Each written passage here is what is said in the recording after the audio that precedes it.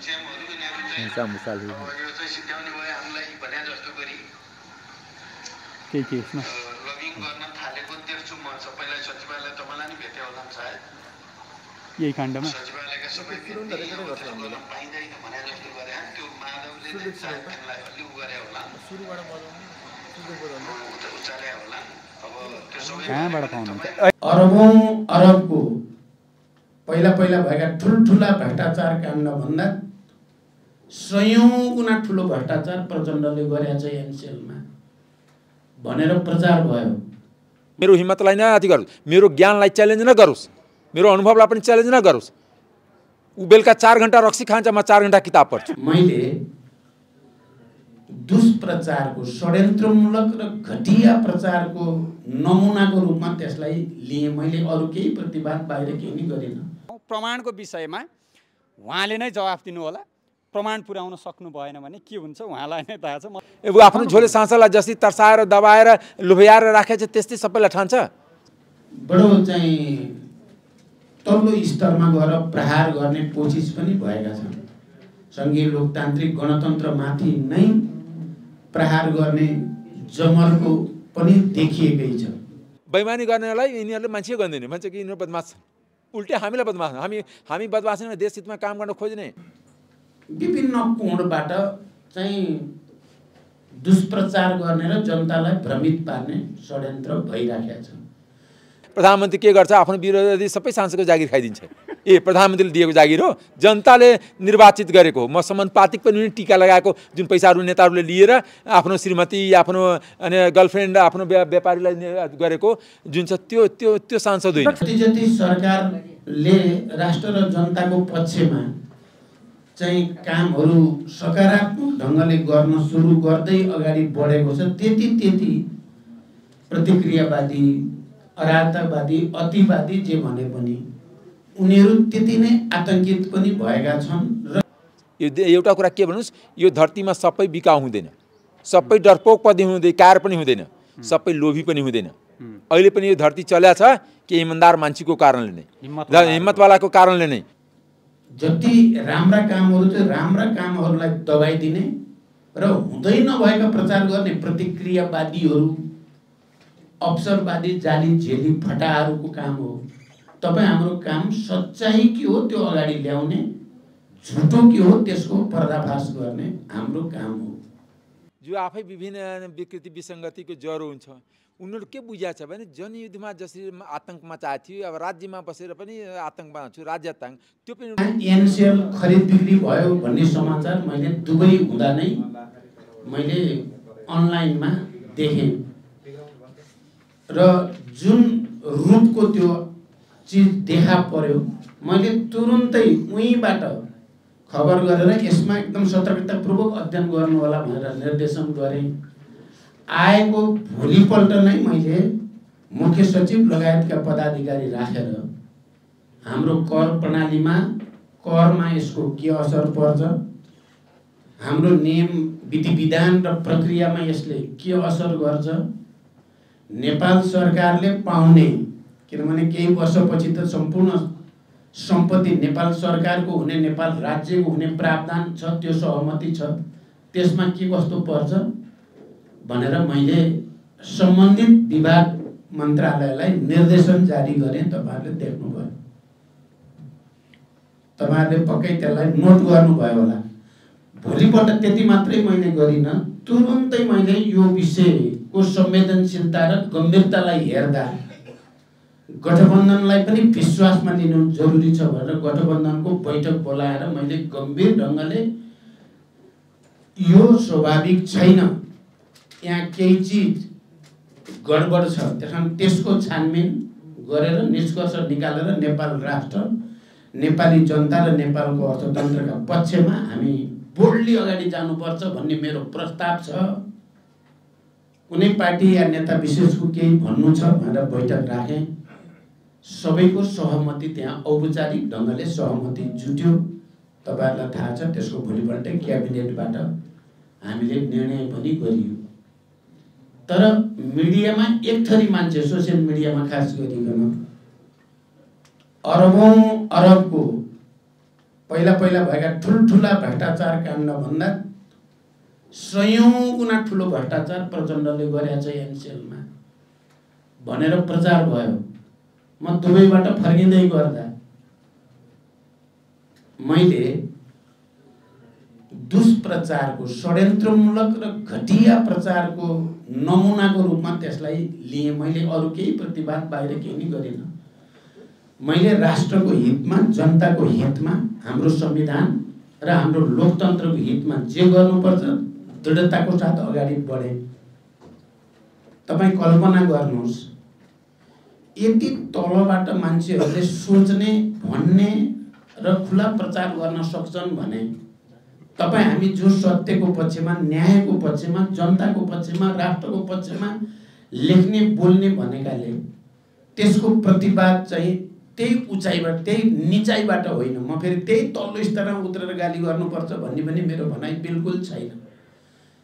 तर यस्ता झुटा प्रचारहरू यस्ता अरू पनि थुप्रै चाहिँ प्रचारहरू जो भएका छन् त्यसको प्रतिवाद गर्नु र जनतालाई सही सूचना दिने नै अहिले यति बेला प्रेसको भनौँ। प्रचार क्षेत्रको र तपाईँहरू यो क्षेत्रको सङ्गठनको पदाधिकारी हुनुको नाताले तपाईँहरूले यहाँ कमान्ड लिनुपर्छ भन्ने मलाई लाग्छ। यो त्यत्तिकै भएको छैन। म अर्को एउटा सानो उदाहरण हिजो अन्तर्राष्ट्रिय मानव अधिकार दिवस।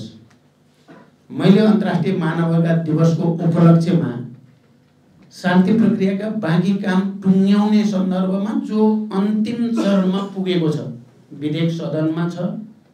उपसमितिबाट समितिमा गएको छ। समितिबाट अब फुल हाउसमा ल्याएर त्यसलाई पारित गर्ने चरणमा छ। र अन्तर्राष्ट्रिय मानवाधिकार दिवस हुनुको नाताले पनि मैले सबै हिजो युद्धको क्रममा सहिद भएका परिवारहरू बेपत्ता योद्धाका परिवारहरू सबै खाले पीडितहरूलाई बालुवाटारमा बोलाएँ र प्रत्यक्ष संवाद भयो राम्रो भयो। तर एक थरी मान्छेहरूलाई यो पछि राखेका छैन शान्ति प्रक्रियाका बाँकी काम टुङ्ग्याउनै लाग्यो यो सरकारले। त्यसकारण सरकारमाथि अर्को ठाउँबाट प्रहार गर्ने षड्यन्त्र भइरहेको छ।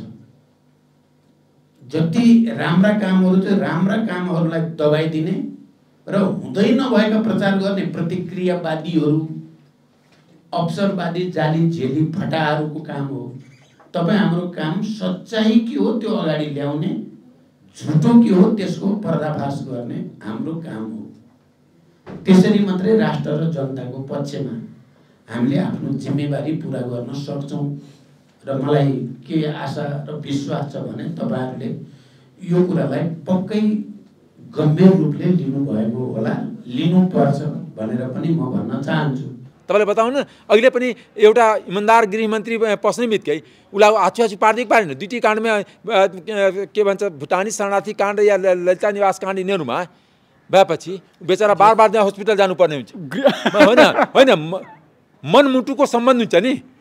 अमरेश कुमार सिंहले भ्रष्टाचारका ठुल्ठुला काण्डहरूमा को को जोडिएका छन् कसको कनेक्सन कहाँ कहाँसम्म छ? क कसले कति कति खायो रकमसम्म भन्नुभएको छ? प्रमाण दिन्छु भन्नुभएको छ? प्रमाण दिन अहिलेसम्म सक्नु भएको छैन। सम्भवतः बिस्तारै दिने उहाँको रणनीति होला। अलिकति एक दिन अलिकति भोलि अलिकति पर्सि अलिकति आज गर्दै बिस्तारै बिस्तारै दिने रणनीति होला। र प्रधानमन्त्री कार्यालयले पनि उहाँको अभिव्यक्तिको खण्डन गरिसकेको छ। उहाँसँग हामी कुरा गर्छौँ। प्रमाणको विषयमा उहाँले नै जवाफ दिनुहोला प्रमाण पुर्याउन सक्नु भएन भने के हुन्छ? उहाँलाई नै थाहा छ। मलाई डाक्टर साहब स्वागत गरेँ सबैभन्दा पहिला। धन्यवाद। मलाई मलाई तर्साउँदै हुनुहुन्छ भनेर भन्नुभएको थियो अस्ति तपाईँसँग कुरा गर्दा। तर वास्तवमा प्रधानमन्त्री कार्यालयबाट प्रधानमन्त्रीको एउटा सचिवालयकै भए पनि सानोतिनो थ्रेड त आयो नि होइन? हामी चुप लागेर बस्नेवाला छैनौँ देखाइदिन्छ। प्रधानमन्त्रीको त जुन सुन्डुमुन्डो छ नि सुन्डमुन्ड सुन्डमुन्ड छ तिनीहरूले पनि धम्काउनु चाहे जो आफै ड्रग्स लिएर समातिन्छ कोडियामा जो आफै विभिन्न विकृति विसङ्गतिको ज्वरो हुन्छ उनीहरू के बुझाएको छ भने जनयुद्धमा जसरी आतङ्क मचाएको थियो अब राज्यमा बसेर पनि आतङ्कमा छु राज्य आतङ्क त्यो पनि एउटा जिम्मेवार सांसद जनताको निर्वाचित प्रतिनिधिलाई जो आफै पढाएको छ कि छैन आफू देशको लागि केही गरिरहेछ कि छैन देशको लागि गर्दन काट्ने नै सबै थोक होइन देशको लागि आत्मा मन कर्म वचनले देशलाई हानि नोक्सानी नपुर्याउने र देश र जनता पक्षमा काम गर्ने नै राष्ट्रियता हो। त्यही राष्ट्रियता हो। तर उनीहरूले के भने विदेशीको चाकरी गर्ने आफ्नो नेतामा भगवान् देख्ने जो अनि विदेशीको कोख काखमा बसेर सत्र हजार गर्दनको हत्या गर्यो। अनि त्यति होइन मा मतलब तपाईँलाई बताउँछु कि त्यो मात्र होइन कन्ट्रोलमेन्टको पैसा त्यत्रो हेराफेरी भयो। आखिर कन्ट्रोलमेन्टको मुद्दा त अहिले पनि यसमै जाउँ न, त्यो- त्यो छँदैछ। त्यो विषयमा गरि- त्यसै कारण तपाईँलाई बताउँछु। हिजो। तपाईँलाई बताउँछु। कि मैले आइजीलाई पनि भने आइ नेपाल पुलिसको आइजी बसन्त कुमारलाई के भन्यो भने कि उहाँ पुरानो दृश्य अब बिर्स्नुपर्छ उहाँले के बुझ्यो पहिला भा भाउजूको आदेश मान्ने कहिले अनि पापाको परीको आदेश मान्ने। हिजो अनि अनि अ, अ, गङ्गा दाहालले आदेश दिएर मेरो पिएसओ फिर्ता गरेको थिएँ। जबकि गृह मन्त्रालयले निर्णय गरेर उन्चालिसजनालाई दिँदाखेरि उन्चालिसजना मध्ये म एकजना परेको छु। त्यो पैकी जबकि पूर्व सांसद पूर्व मन्त्रीहरूलाई दिँदाखेरि मे मेरो सुरक्षा थ्रेटको मूल्याङ्कन गरेर गृह मन्त्रालय दिएको गङ्गा दाहालकै आदेशमा आदेश। भयो भन्ने कुराको आइजीले भन्यो प्रमाण? नि? आइजीले भन्यो। बसन्त बसन्त कुमारले भन्यो। ए, भनेपछि। आधिकारिक रूपमा मैले बसन्त कुमार भने कि तपाईँ नियम कानुन शासनले चल्नुपर्छ तपाईँले त मलाई त्यतिकै त दिएको होइन। गृह मन्त्रालयको पत्रले दिनुभएको छ गृह मन्त्रालयको निर्णयले दिनुभएको छ निर्णय भएको कुरा नदिने निर्णय मलाई देखाउनुहोस्। हिजोबाट होइन? हो हिजो त बिहानै फर्कायो। जब मिडियामा तपाईँहरू बोलिदिनु भयो त्यसपछि बेलुका फेरि अनि फिर्ता भयो? फिर्ता भयो। हिजो बेलुका फिर्ता भयो। बिहान तानिहाल्यो। अनि विभिन्न तरिका अर्को उसको अ, कुन शेर्पाली त कुन अनि तिनीहरूले कुन दिपशिखा यिनीहरूले फेसबुकमा तर्साउँछ यो फेसबुकको के म? यो राष्ट्र जनता बनाउने। राष्ट्र जनतालाई म एउटा प्रश्न गर्न चाहन्छु सम्पूर्ण नेपाली जनताको तर्फबाट कि कुन यस्तो अनि उसँग अति उपरबाट पढी पाएछ कि रातारात अरबपति भएछ? अरबपतिभन्दा बढी यसो आरामको जिन्दगी पाएछ एउटा जङ्गलबाट आएको मान्छेले? एउटा कुरा तपाईँले उसको परिवारको व्ययको चर्चा मैले गर्नु पर्दैन। घडीको चर्चा मैले गर्नु पर्दैन। उसको दुबईको फ्लाइटको कुरा मैले गर्नु पर्दैन। हाँ? त मैले भने नि यो मैले गर्नु पर्दैन नेपाली जनताले गरिरहेको छ नि। दोस्रो कुरा चार करोडको पराडो चढ्छ त्यो पनि मैले गर्नु पर्दैन उम्. अरू के के त्यसका- गर्नु पर्दैन त्यसै कारण तपाईँलाई म बताउँछु यो एनसेलमा जम्मै हेराफेरी गर्छ त्यो पनि म गुरु- गर्नु पर्दैन त्यसको अदालतले निर्णय गर्छ आज तपाईँले नै गर्नुभएको छ। त्यस कारण मैले के भन्नु भने पहिला पहिला पहिला पहिला प्रधानमन्त्रीको सचिवालयकै कुरा गरौँ। हजुर। डाक्टर अमरेश कुमार सिंह माननीय अमरेश कुमार सिंहले भ्रम फिजाइरहनु भएको छ नभएको कुरा गरिरहनु भएको छ। उहाँले केही बार्गेनिङ गरिरहनु भएको थियो। त्यो उहाँको दुराशय पुरा हुन सकेन। हजुर। केही बार्गेनिङ थियो त्यो पुरा हुन सकेन। मन्त्रीमण्डलले पूर्णता पाएसँगै हजुर। उहाँका ती भावनाहरू कुण्ठाहरू जे जति हुन् ती मुखरित भएर बाहिर आउन थाले। यो एउटा कुरा के भने त्यो जुन सचिवालय छ म पहिलोचोटि सांसद भएको कि चौथोचोटि त्यसले मलाई मलाई मन्त्री बन्ने कुण्ठा हुन्थ्यो भने पछिल्लो सरकारमा पनि हुन्थ्यो नि। हाम्रो काङ्ग्रेसकै कतिचोटि सरकार थियो म सांसद हुँदाखेरि। सुशीलाको सरकार थियो गिजाउको सरकार थियो। छैन? केही पनि मागेको छैन। के मागेको छु साँच्चै मागेको छैन। सोधौँ न। एउटा कुरा के भने लिएर आउन। सचिवालय लिएर आओस् न। म सचिवालयको मगन्ती जस्तै त्यहाँ बसेको छैन नि। एउटा कुरा तपाईँलाई बताउँछु। अनि त्यहाँ मेरिटबाट बस्या हो। सचिव लेभलको तलब खाने बिए पनि पास नहुने। सहसचिवको तलब खाने अनि आठ क्लास पास नहुने। यो जुन आफ्नो झुन्ड मुन्डलाई अ, राज्यको ढुक्टी त्याएर तलब भत्ता दिने प्रवृत्ति छ त्यसमा क्राइटेरिया बन्नुपर्छ। यदि सचिव लेभलको तलब खानको लागि एमए पास हुनु पऱ्यो कि परेन। होइन यो अभिव्यक्तिमा तपाईँलाई केही होला नि त केही त लाग्यो होला नि। मनमा जस्तो कि आफ्नो पुरा हुन नसकेपछि मेरो मात्रै। व्यक्तिगत कुरै छैन म व्यक्तिगत कुरै छैन म व्यक्तिगत त चार वर्ष सांसद रहन्छु त कसैले खोज्छ? प्रचण्डले खोज्छ। है? तर खोज्न सक्छन्। कसले हामी यहाँ संसद सचिवालयतिर पनि यसको मुद्दा लिएर उजुरी लिएर जान सक्छौँ मेरो- दलको नेता ए के हुन्छ? ए प्रधानमन्त्री त्यसो भए त प्रधानमन्त्री के गर्छ? आफ्नो विरोधी सबै सांसदको जागिर खाइदिन्छ। ए प्रधानमन्त्रीले दिएको जागिर हो। जनताले निर्वाचित गरेको हो। म समानुपातिक पनि हुने टिका लगाएको जुन पैसाहरू नेताहरूले लिएर आफ्नो श्रीमती आफ्नो अनि गर्लफ्रेन्ड आफ्नो व्या- व्यापारीलाई गरेको जुन छ त्यो त्यो त्यो सांसद होइन। तपाईँले मेरोभन्दा धेरै बुझ्नुहुन्छ किनभने तपाईँ संसदको पनि लामो अनुभव छ। सबै थोक छ नि त। त्यो हिसाबले तपाईँ तपाईँलाई मेरोभन्दा धेरै नै थाहा हुन्छ नै। त्यसमा शङ्का भएन। मैले भनेको संसद सचिवालयमा पनि जान्छौँ सभामुखकोमा पनि जान्छौँ भनेको? आशय एउ- एउटा आशय के सांसदको काम देश र जनताको पक्षमा भ्रष्टाचारको विरुद्धमा आवाज उठाउनु हो कि होइन? अवश्य ए ऊ आफ्नो झोले सांसदलाई जसरी तर्साएर दबाएर लुभ्याएर राखेको छ त्यस्तै सबैलाई ठान्छ। यो एउटा कुरा के भन्नुहोस् यो धरतीमा सबै बिकाउ हुँदैन। सबै डरपोक पनि हुँदैन कार पनि हुँदैन। सबै लोभी पनि हुँदैन। अहिले पनि यो धरती चल्या छ कि इमान्दार मान्छेको कारणले नै। हिम्मतवालाको कारणले नै। ऊ मेरो हिम्मतलाई नै अति गरोस्। मेरो ज्ञानलाई च्यालेन्ज न गरोस्। मेरो अनुभवलाई पनि च्यालेन्ज न गरोस्। ऊ बेलुका चार घन्टा रक्सी खान्छ म चार घन्टा किताब पढ्छु। ऊ भर दिन बिचौलिया दलालसँग भेट्छ अनि के कता पैसा आउँछ पैसा व्यवस्थापनमा जिन्दगी जान्छ। म म देश कसरी बनाउने त्यसमा मेरो जिन्दगी जान्छ कि यहाँको युवा किन पलायन भए? यहाँको विद्यार्थी किन पलायन भए? यहाँ किन बिचौलियाको शासन भयो? म त्यसको लागि अध्ययन गरिरहेको छु त्यसको लागि खरो गरिरहेको छु त्यस कारणले हिजो पनि वा उसको एउटा भरौटेले म जिन्दगीमा पानै गुट्का नखाए मान्छेलाई रक्सीको बोतल राखेर एउटा फेस फोटोसप गरेर राखेको थियो। त्यस्ताले आदमी सबैलाई थाहा छ कि अमृत सिंह रक्सी खाँदैन। अमृत पान पराग गुट्का गुट्का केही पनि खाँदैन सुपारी खाँदैन। त्यो त्यो- त्यस कारणले यो जुन गर्दाखेरि मलाई थाहा छ म सत्यको बाटोमा छु सत्यको एक दिन जित हुन्छ। र चाँडै जित हुन्छ। नेपाली जनता सत्य नेपाली जनताको खुबी के भने नेपाली जनता इमान्दार पनि छ मेहनती पनि छ राष्ट्रवादी पनि छ। तर नेताहरू जुन अहिलेको जुन लुटेराको रूपमा बनेर विदेशीको दलाल छन् न उसमा राष्ट्रियता छ न उसमा देश प्रेम छ न देश विकास छ न जनता र देशप्रति केही गर्नु छ। उसलाई गर्नु छ त केही विदेशीको लागि केही गरिदिनुपर्छ। तपाईँले बताउनु न? अहिले पनि एउटा इमान्दार गृहमन्त्री पस्ने बित्तिकै उसलाई आछु आछु पारिदिएको पारेन दुईटी काण्डमा के भन्छ भुटानी शरणार्थी काण्ड या ललिता निवास काण्ड यिनीहरूमा भएपछि बेचारा बार बार त्यहाँ हस्पिटल जानुपर्ने हुन्छ। होइन होइन मनमुटुको सम्बन्ध हुन्छ नि। होइन उसले ऊ बेचारा इमान्दार छ। अहिले क्याबिनेटमा अर्को एउटा रक्षा मन्त्री छ त्यो आफू गृहमन्त्री पालामा त दिनको पचास हजार रुपियाँ लिए बुझेको थियो। अब यसले आउने बित्तिकै पचास हजार दिनको गृहमन्त्री लिनु हुँदैन जसको कुनै अडिट हुँदैन कुन- त्यसको कुनै बिल चाहिँदैन बिल भाउचर चाहिँदैन।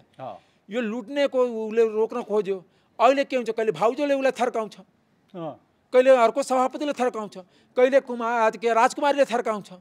र ऊ कहिले विदेशीले थन्काउँछ हेर मेरो दलाली गरिरहेछ गृहमन्त्रीलाई हटाउँछु यहाँ त विदेशीको दलाल गृहमन्त्री चाहियो विदेशीको दलाल प्रधानमन्त्री चाहियो।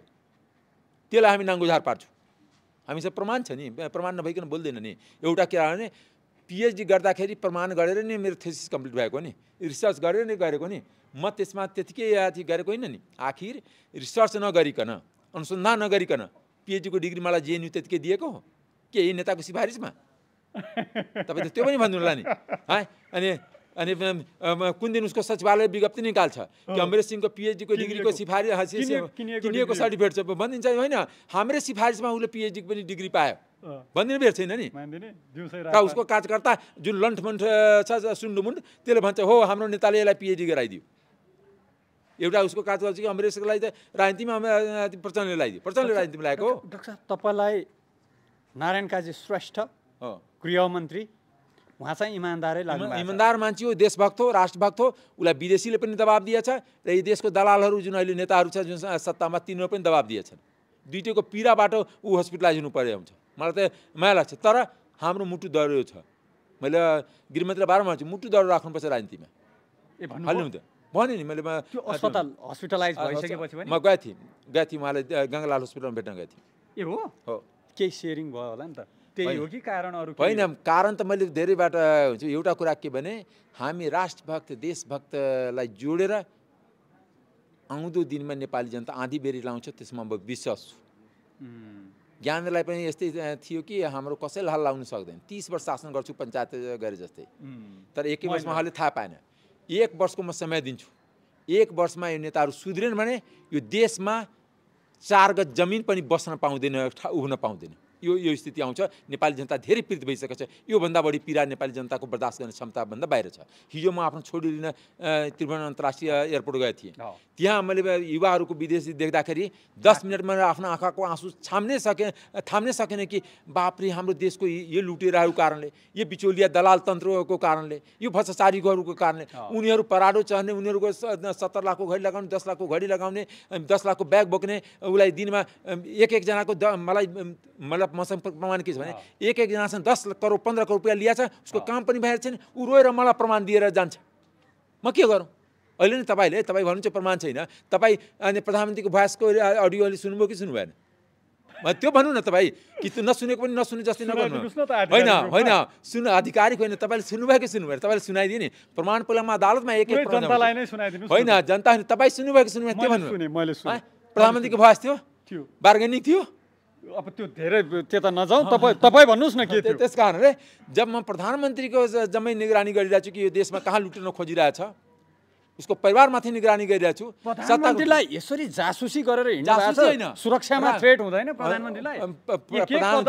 होइन प्रधानमन्त्री देश मेरो सिधा हिसाब छ प्रधानमन्त्री गए। देश लुट्न पाउनुहुन्न प्रधानमन्त्री पद देशको सेवक हो देशलाई देशको समृद्धि र विकासमा उहाँको भूमिका हुनुपर्छ।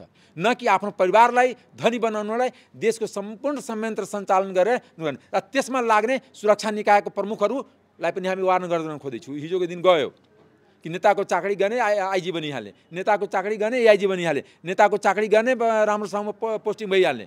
र नेताको चाकरीबाट जुन बन्ने प्रथा छ त्यसलाई हामी अन्त पनि गर्छौँ र जसले पाएछ रिटायर भए पनि कारवाही गर्छौँ।